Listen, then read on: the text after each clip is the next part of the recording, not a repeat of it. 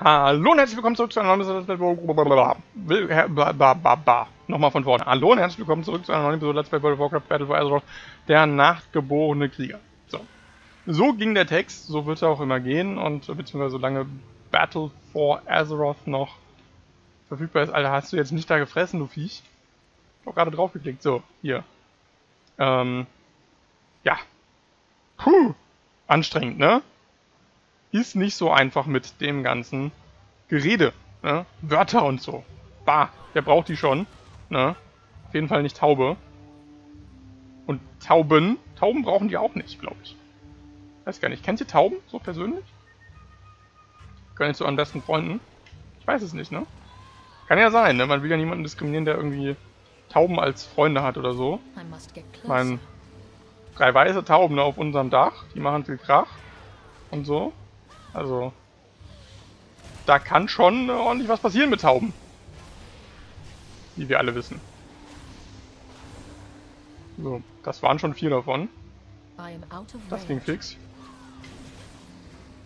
Ja, mit unserem guten Krieger. Naja, hat schon einiges erlebt mittlerweile.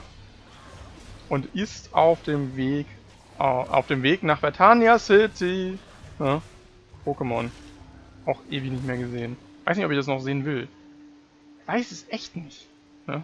Hat sich ja so viel verändert mittlerweile und es ist so viel gleich geblieben. Ist irgendwie...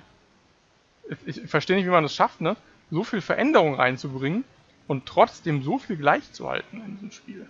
Beziehungsweise auch in diesem Anime, ne? Da hat sich ja seit Jahren auch nichts getan, außer dass vielleicht mal ein Synchronsprecher irgendwie äh, abgesprungen ist oder so. Man weiß es nicht, ne? Man weiß es nicht. Und vielleicht sind die auf Netflix, ne? Auf Netflix momentan auch Love, Death plus Robots, sehr, sehr gut. Ich weiß nicht, ob ich schon mal erwähnt habe. Kann sein. Auf Twitter auf jeden Fall. Guckt es euch an, es ist großartig. Es ist einfach großartig, es ist mega what the fuck. Ähm, es ist halt wirklich Black Mirror auf Drogen. Auf den nicht guten Drogen. auf dem heftigen Trip, Mann. Also, Love, Death plus Robots. Sehr gut. Kann ich nur empfehlen. Wie gesagt, es ist einfach Black Mirror auf einem schlechten Drogentrip. Puh. Habt ihr eigentlich auch so dieses Gefühl, der, ne, der, der Winter ist jetzt vorbei, ne? Der Frühling kommt und diese Bastarde von Pollen sind auch wieder mit dabei. Jedes Mal, ey. Ich gehe raus, ich kann eigentlich direkt, wenn ich heimkomme, kann ich mich direkt ausziehen, ja, duschen gehen, meine Kleidung quasi halb verbrennen, ja, aus sanitären Gründen. Und ähm, ja. Und dann kann ich mich halt komplett neu einkleiden. Das ist wirklich, wirklich nervtötend. Ich hasse diese Jahreszeit. Äh, ich, ich liebe wirklich den Winter. Da habe ich sowas überhaupt nicht. Da kann ich rausgehen. Es ist zwar scheiße kalt draußen, aber da ziehst du dir halt noch mal ein bisschen mehr an, verdammt. So, ne? Ich meine, guckt euch mal Sommer an, ja. Es ist scheiße heiß draußen. Klar, man sieht Frauen in wenig an und äh, irgendwie habe ich gerade den Sommer. Ich mag den Sommer irgendwie.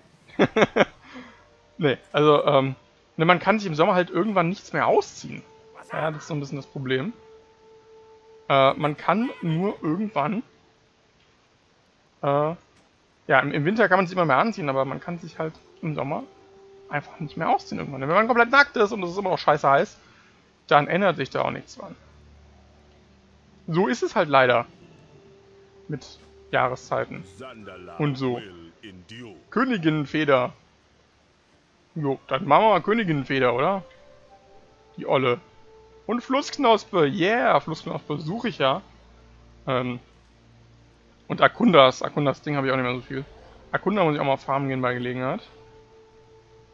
Lohnt sich aber momentan noch nicht so ganz. Ist hier nicht eigentlich die Quest, dass man... Ja, Hatchling Command to Fight, ich habe das gar nicht. Jetzt habe ich das. Kämpfe! Und du kämpfst, kämpfst, kämpfst wie ein Dino. Und du dienst, dienst, dienst wie ein Kino? Was reimst du denn auf Dino? Passt irgendwie nichts, ne? Ja, ich habe mich, in eine, ich hab mich in eine Ecke gereimt, ich geb's zu. Ne? Bin halt kein Rapper, Mann. Ist halt so. Ich mag Rap auch nicht. Rap ist nicht meine Musik. Ich, ich finde es auch immer schwierig, das als, als Musik zu bezeichnen. Das ist Sprechgesang. Ja? Fucking Sprechgesang.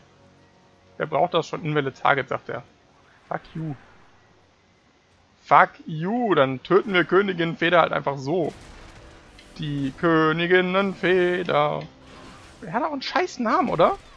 Aber wenn, wenn ich euch einen Namen geben könnte, wäre das Königinnenfeder? Das ist doch scheiße. Das ist doch dumm. Das ist doch kacke. Niemand will das. Außer vielleicht Königinnenfeder. Die könnte das wirklich wollen. Vielleicht heißt sie deshalb so. Vielleicht wird sie auch nur so genannt, weil sie echt coole Federn hat. So einen coolen Kopfschmuck, ne? So Pocahontas-mäßig. Ich habe einen coolen po Kopfschmuck. Ich möchte jetzt äh, gerne Königinnenfeder genannt werden, weil diese Feder auf meinem Kopf, die ist königlich. So. So, kleiner. Dann greif an, los, Attacke, Blubstrahl. Oder Biss. Oder Blubstrahlbiss. Oder so. Was macht man denn mit Pokémon? Machen die sowas? Blubstrahlbiss? Nee, ne? Kann man das kombinieren? Das wäre ja auch geil, oder? So ein Pokémon-Game, wo man einfach Angriffe kombinieren kann. Ja? Die, die so, so nicht, nicht Feuer-Wassermäßig, ne? So, keine Ahnung, Feuer... Feuerblubstrahl oder so, ne? Sowas nicht. Aber halt irgendwas in der Richtung von wegen hm, keine Ahnung, Feuerbiss gibt es ja zum Beispiel oder Feuerschlag gibt es auch. Äh, da könnte man doch irgendwas mitmachen, oder? Könnte man irgendwie kombinieren lassen, so von wegen, ähm, weiß nicht, mit normalen Attacken zum Beispiel Feuer-Tackle, bestimmt mittlerweile auch, oder Blub-Tackle oder Wasserstrahl, Blub-Tackle, Blubber, Strahl, Tackle. Sowas in der Richtung, ne? Oder, oder Hyper, Hyperfeuerstrahl, ne? Sowas. Sowas wäre doch geil. Hyperfeuerstrahl-Tackle. So. Wer wäre das denn? Ah, hätte was. Ja, Nintendo stellt mich ein, Mann. Ich kann das. Ich bin gut darin, Fähigkeiten mir aus dem Arsch ziehen. Das könnt ihr aber glauben. Fähigkeiten aus meinem eigenen Arsch ziehen kann ich gut. Konnte ich auch als Kind schon gut. Ja, ich habe mal ein Digimon gemalt und das Digimon konnte alles auf einmal. Er ist dann einfach jeder Tag auf einmal eingesetzt und da konnte man gar nicht gewinnen. Da konnte man nicht gegen gewinnen, so. Und wenn du jetzt zuguckst, Vitali, ich habe die Wette gewonnen, verdammt. So. Himmel Arschen zu hören. Ach ja. Das war noch Zeiten, als ich noch klein war. Das war noch Zeiten. Ich traue dem Ganzen noch ein bisschen nach, muss ich sagen. Damals, ne, als man Digimon noch, äh, das gute Digimon im Fernsehen gucken konnte, ne, Digimon Adventures. Haha. Ich vermisse es wirklich. Das ist wirklich einfach Nostalgie gerade. Vor allen Dingen war die Serie einfach gut. Ne? Digimon war so viel besser als Pokémon als Serie. Keine Ahnung, wie die Spiele waren. Ich habe nie ein Digimon-Spiel gespielt. Bis jetzt nur Pokémon-Spiele gespielt. Aber ich weiß, dass die Serie besser war. Auch Adventure 2 war noch ganz gut. Ne? Bei, bei Adventure, äh, ne, Adventure Tree ist ja jetzt quasi dann das aktuelle, das habe ich noch nicht ganz gesehen. Fand ich aber auch ganz geil. Äh, und dann gibt es, gab es ja noch ähm, Tamers. Tamers, muss ich sagen, habe ich damals nicht gemocht. So gar nicht. Ne? Aber so im, im, im äh, Nachhinein ich, fand ich es einfach geil. Einfach nur das Konzept, ne? So Depressionen und so tote Digimon, ne? Wo halt auch mal ein Partner stirbt, ein Digimon-Partner und sowas. Halt wirklich kranke Scheiße. Ähm, wo man sich denkt, wie haben die sich das getraut? Ne? Also, schon gut. Und dann kam irgendwie Digimon Data Squad, das habe ich gar nicht mehr gesehen. Nee, nee, dann, dann kam erstmal dieses Fighting Frontier. Frontier kam noch. Da habe ich auch nur sporadisch immer reingeguckt, leider. Dann würde ich vielleicht bei Gelegenheit auch nochmal fertig gucken, muss ich sagen. Ich bin, wie gesagt, großer Fan von Digimon. Gerade die ersten drei Staffeln haben es mir mega angetan. Und äh, Data Squad habe ich dann mal gesehen, dass es irgendwie im Fernsehen lief oder so. Ähm, und ja, war dann halt einfach kein Fan von, muss ich sagen. Habe ja ein, zwei Folgen von gesehen. Äh, haben sie Agumon wiedergebracht. Ne? Also als Digimon-Partner.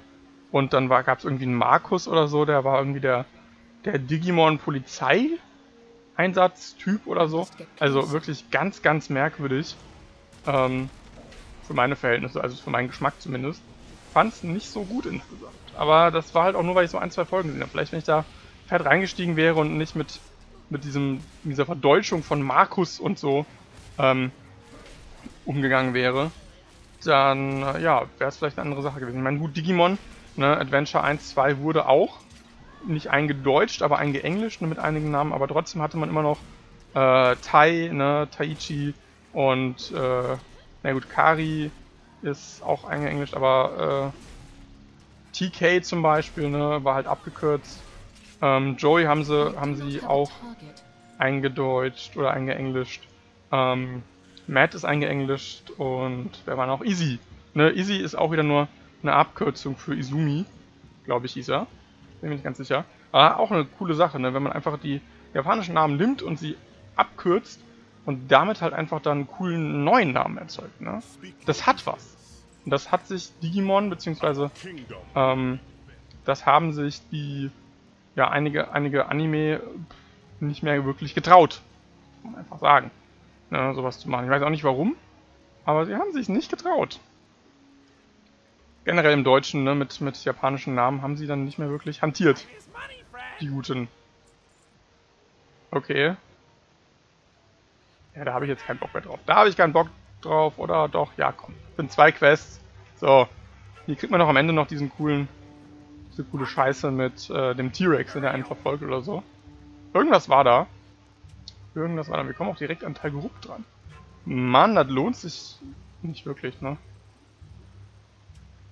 Doch so halb. Es würde sich lohnen, erst Talgerup zu machen, weil dann kommen wir oben raus. Ah, ne? Jetzt wird's wieder effizient hier. So. Ah. Schön immer. Ich habe noch Brause. Ich habe mehr, mehr Brause gemacht, als ich brauchte. Gute Vitamin C Brause von was denn das? Alter Pharma oder so, keine Ahnung. Weiß auch nicht genau, was das ist. So, einmal Mon Monelis-Erz. Ein Erz. Aus diesem ganzen fetten Vorkommen ein Erz. Alter, bin ich scheiße im Abbauen von dem Mist. So. Oder habe ich das gerade verwechselt? Kann es sein, dass ich das verwechselt habe? Nee, nee, nee, habe ich nicht verwechselt. Alles gut. Ich habe nichts verwechselt, aber ich habe da noch ein Vorkommen gesehen. Platinum! Ahu! Zieh raus, die Scheiße. Ein Platinerz. Naja, wenigstens EP, ne? Wenigstens EP. So, einmal Talgerup bitte. Wir brauchen ein wenig Körper und wir brauchen die Urne der Stimmen. Bam, bam, bam. Wie gesagt, ich kann nicht singen. Ich habe schon mal erwähnt, glaube ich. Mehrfach. Einmal, zweimal, 5.327.712 Mal. Man merkt, dass ich nicht gut bin, mir irgendwelche Zahlen zu überlegen, weil die kommen irgendwie häufiger von 7. Irgendwie falle ich immer zurück auf 7. Ich weiß nicht warum. Wenn, wenn man sagt, mach, sag mal eine random Zahl, ne? Die meisten Leute machen irgendwie so 12. Ich weiß auch nicht warum. Also ich, ich wenn, wenn irgendjemand sagt, mach mal eine random Zahl, ich komme immer auf 12. Und wenn ich dann irgendwie eine, eine Zahl übertreiben soll, dann wird sie halt immer mega abstrus mit mega vielen Zahlen, die sich wiederholen. Aber weiß auch nicht, warum. Ich habe keine Ahnung. Man manchmal, manchmal sind das schon witzige Sachen. Ne? Es gab eine Doctor Who-Folge äh, in der vorletzten Staffel, die ist Extremis. Und die war ziemlich geil. Da ging es darum, dass die Welt simuliert wird von Aliens, um rauszukriegen, wie sie am besten angreifen können. Und äh, Wissenschaftler finden das raus und bringen sich dann reinweise selbst um, weil sie halt merken, dass es die gar nicht richtig gibt. Ne? Aus äh, Depressionen und so. Und die sagen dann, ähm, sag mal eine Zahl, ne? Random Zahl, wenn ich jetzt mit dem, mit dem, mit der Faust auf den Tisch haue. Ne? Und das ist eine der, der imposantesten Szenen in, in komplett Doctor Who meiner Meinung nach, beziehungsweise die ich generell auch gesehen habe, weil das einfach ein mega, mega krasses Timing ist von den Leuten. Also der, der Dude haut mit seiner Faust auf den Tisch und alle sagen dieselbe Zahl. Ne? Zuerst ist das nur mit, macht das nur mit zwei Leuten und die sagen dann, sagt mal, ihr Leute, sagt mal dieselbe Zahl. Also sagt mal irgendeine Zahl, die euch gerade einfällt, wenn ich auf den Tisch haue. Ne? In dem Moment, wo meine Faust den Tisch, wenn das Geräusch hört, sagt ihr bitte eure Zahl. So. Und die beiden dann irgendwie, keine Ahnung, sieben ne, zusammen, dann zwölf zusammen, was auch immer. Und äh, er macht dann immer weiter und, und diese werden immer unsicherer. Und dann kommen immer mehr Leute dazu und am Ende sind es irgendwie so ein, so ein Raum von ja, 20, 30 Leuten oder so, die alle gleichzeitig dieselbe Zahl in den Raum brüllen. Und ähm, ja, mega, mega interessant einfach, bis sich herausstellt dann, dass alles nur Simulation ist, weil Computer nicht gut mit Zufallszahlen umgehen können. Ja, und als Informatiker kann ich sagen, das stimmt. Ja, wenn, ihr, wenn irgendwie eine Zufallszahl ausgerechnet werden soll, dann nimmt der Computer einfach irgendwie, keine Ahnung, ähm, die Zeit, ne? Millis Zeit in Millisekunden und da wird dann, keine Ahnung, irgendwie eine Stelle genommen oder so, ne? Und das war's. Mehr, mehr ist es nicht. Und ähm, deshalb können Computer auch nicht gut mit echtem Zufall umgehen, weil es echten Zufall im Computer nicht gibt. Ne? Es ist einfach eine Sache, die ist abhängig von irgendeiner Zeit. Ne? Das, das finde ich interessant. Mich mal interessieren, ob ähm, es dann irgendwie eine Zeit gibt jetzt, wo man, wenn man genau irgendwie einen Gegner lootet, ein bestimmtes Item kriegt. Müsste ja theoretisch gehen. Ne? Wenn das alles so stimmt, was ich euch erzählt habe. Mhm. Könnte man nachprüfen. Aber es ist halt relativ unmöglich, äh, irgendwas zur exakt selben Zeit zu machen. Das muss ja in dem Fall auf die Millisekunde genau sein. Und ähm, das ist, glaube ich, schon äh, nicht unmöglich, aber sehr unwahrscheinlich. Vor allen Dingen gibt es ja dann auch noch äh, andere Klassen, andere Spezialisierungen, ne, die dann wiederum verschiedene Beutetabellen haben. Fände ich interessant, könnte man mal testen, wie Blizzard das mit dem Zufall macht. Also, das ist schon geil. Vor allen Dingen, witzig ist, wenn ich glaube C, ne, Programmiersprache C, ne, kauft ein C, ähm, ist es so, dass die Zufallszahl, je nachdem, was für eine Funktion man dafür verwendet, beim Kompilieren festgelegt wird. Ne? Das heißt, ich setze, ich sage, ich möchte gerne eine Zufallszahl haben und äh, dann kompiliert man den ganzen Scheiß und dann ist es immer dieselbe Zufallszahl. Die wird nur einmal, einmal wird eine Zufallszahl gemacht und ab dann ist es immer dieselbe. Witzigerweise. Also würde ich jetzt nicht unbedingt äh, damit machen dann. Ne? Also, sowas muss man aber auch wissen. So, beachtet einfach nicht den Mann hinter dem Vorhang. Ne, Zauberer von Oz. Weiß nicht, kennt, kennt man das noch? Kennt noch jemand Zauberer von Oz? Wahrscheinlich äh, nur so halb, ne? Also den, den Film kennt wahrscheinlich niemand mehr, oder? Den, den Originalfilm damals mit äh, Judy Garland?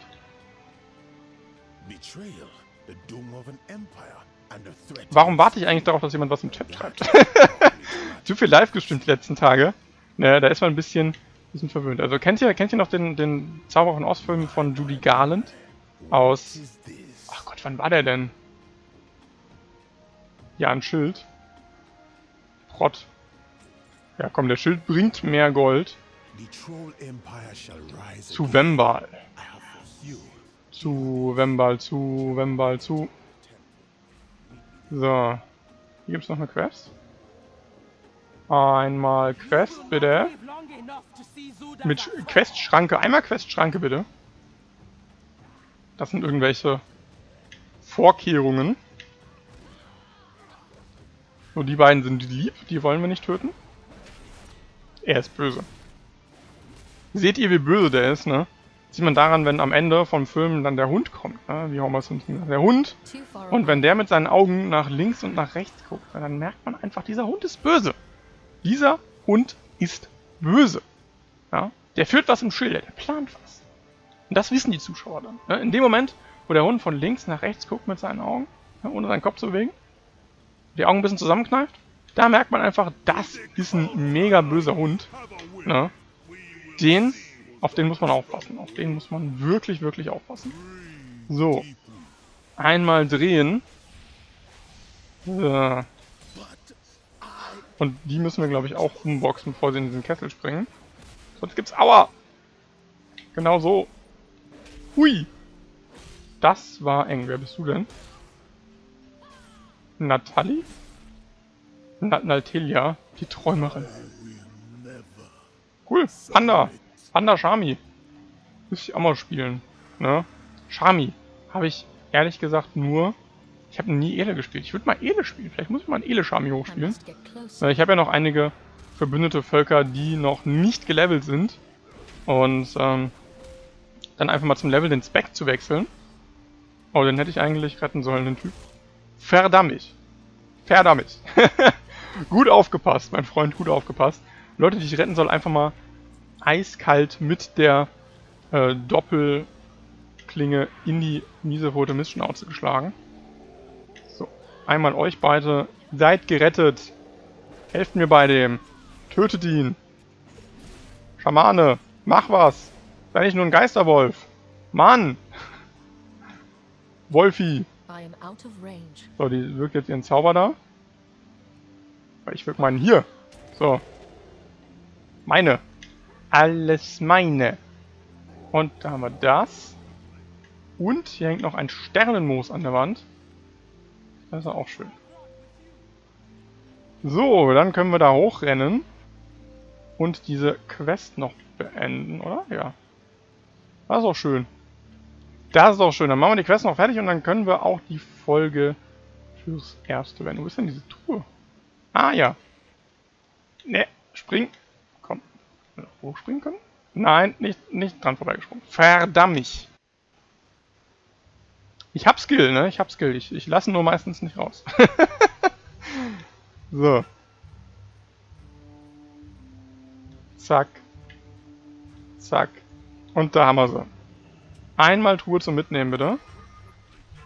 Haben wir die fertig und kein Level Up. 0,7%. Alter, was ist denn mit diesen 0, irgendwas Prozent mittlerweile? Ah, schrecklich. So. Die kriegen wir jetzt aber auf jeden Fall. Zack, Level Up. Aha, aha, aha. Dann gucken wir mal, dass wir hier den Gong ömmeln. So. Dann wollen wir das Gift verbessern. Und nü. Ja, pull du mal alles, bitte. Und natürlich noch die Urne hinsetzen. Und noch die Brew für ihn hinsetzen. Na komm. Kann ich ihn anschatten? Ja, super. So, wir müssen nämlich einfach nur diese Quest jetzt abgeben und dann despawnen die alle. Ha, Plot-Twist. Schön. Da kommt der gute Zul. Mit Zul uns. Ha! Mann, bin ich heute wieder gut. Mega spaßig. Der ganze Scheiß. So. Ich sterbe nicht bei deiner Hand. Bla bla bla. Komm. Werd angreifbar, dann siehst du, wie du sterben kannst. Old Morn. Ich glaube nicht, dass er sterben wird. Also ich zumindest nicht. Sul wird sterben. Irgendwann. Ey. Ey. Jetzt ömmelt, ömmelt er auf den Gong drauf. Geht doch weg! Geht weg! Ja, ich glaube, er hat Angst. Ich glaube, er hat Angst. So. Ja, was macht denn der jetzt hier? Glaube nicht, Mann. Glaube, ich bin stärker. Und der Idiot hat sich selbst vergiftet. Warum hat er nicht mal zugeguckt, als ich den ganzen Scheiß präpariert habe? Er stand doch direkt daneben eigentlich, ne? Also nicht direkt, aber so irgendwo da oben. Ich werde jetzt nicht sterben. Nein. Oh doch, mein Freund. Oh doch. So, ich habe glaube ich nicht nochmal Zeit, um noch eine Folge aufzunehmen. Und daher schließen wir die Quest jetzt einfach ab. Und dann würde ich sagen, ich se äh, sehe euch nach diesem wunderhübschen Sternenmoos. Yay! Woo! Sternmoos! Äh, in der nächsten Episode wieder, wenn wir diese Viecher hier töten müssen. Macht's gut, bis dann. Tschüss.